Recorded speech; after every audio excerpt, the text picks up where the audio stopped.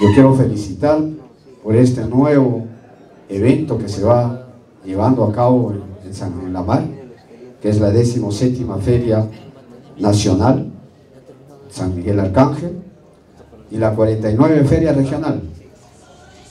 Ferias que nos permiten, como ya se dijo, exponer nuestras potencialidades, ponerlo a disposición de todos lo que existe en esta zona.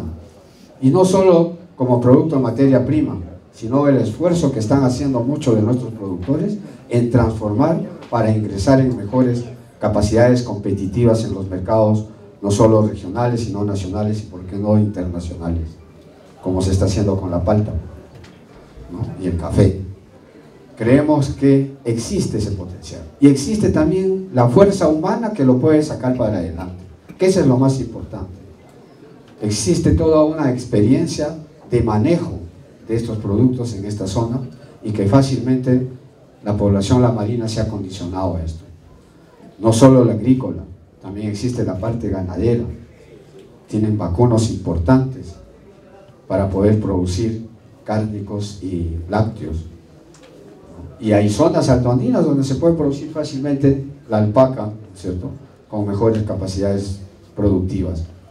Pero ese gran potencial tenemos que las autoridades ver cómo lo desarrollamos.